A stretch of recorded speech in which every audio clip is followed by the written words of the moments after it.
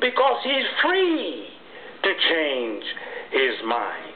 You know, mind changeability, logicalization.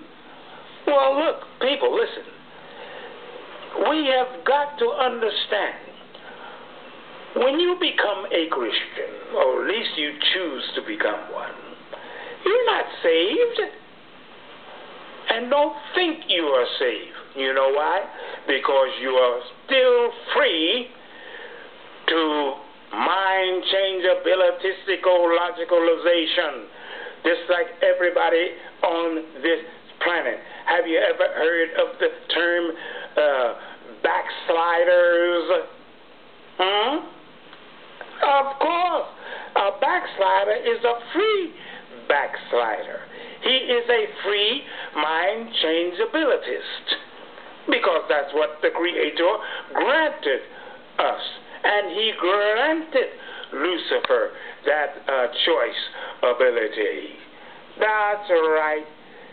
That's why people, let, let me tell you, everything relative to the creatures, you know, the human creatures, the angel creatures, dealing with God, the God of freedom.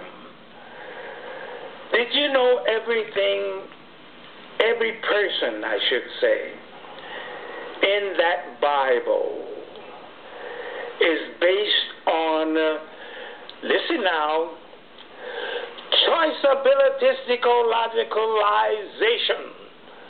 That's right. Everybody in that Bible is dealing with logicalization. Yea, free choice-locabilitistical logicalization. Everybody.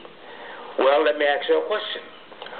Was uh, Lucifer, the angel in heaven, was he placed on probation?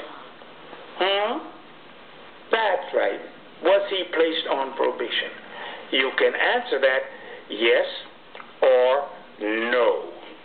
Ah, I think you got it.